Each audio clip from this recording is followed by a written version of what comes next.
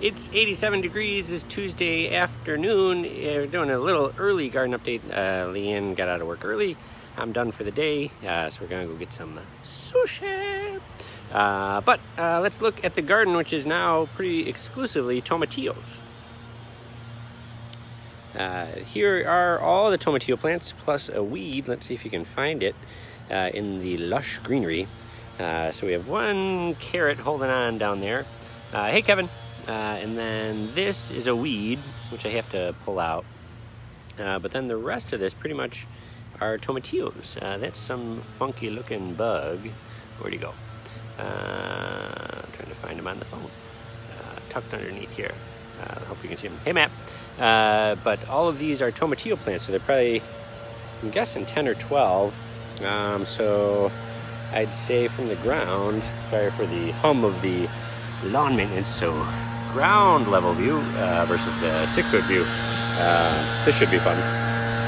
Uh, we'll pause. Uh, maybe not. Uh, so these are the tomatillos. The basil I cut back because I ate a bunch of it uh, recently, so it's growing back nicely, which is great.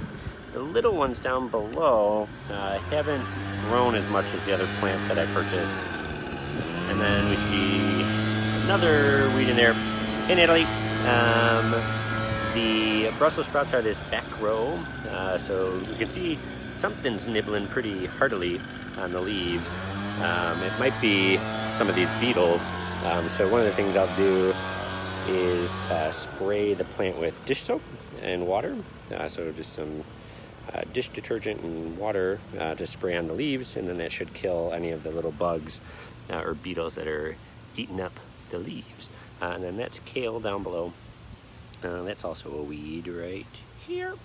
Um, that's a weed right there. otherwise, it's now the tomatillo garden. so give it up to the tomatillos.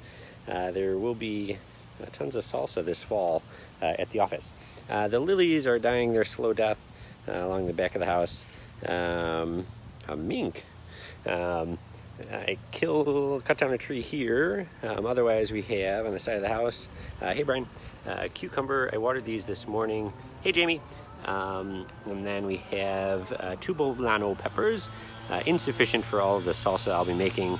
But, oh, I didn't see this this morning. Very exciting a little poblano starting to grow right there. Uh, and then right there. Um, and then these little tiny buds, those are also poblanos in the making. Um, and then Jamie, I'll be sure to share this to YouTube, my podcast, my Instagram story. I got to get on that lady's level uh, to be an internet sensation. Um, and then here are two more tomatillo plants. Uh, not envisioning that I would have the garden full of them this year. Uh, and then we have two uh, tomato plants. So good thing about tomatoes is they love heat. Uh, I just saw one. Where did it go? Um, I thought we saw a little one that was growing.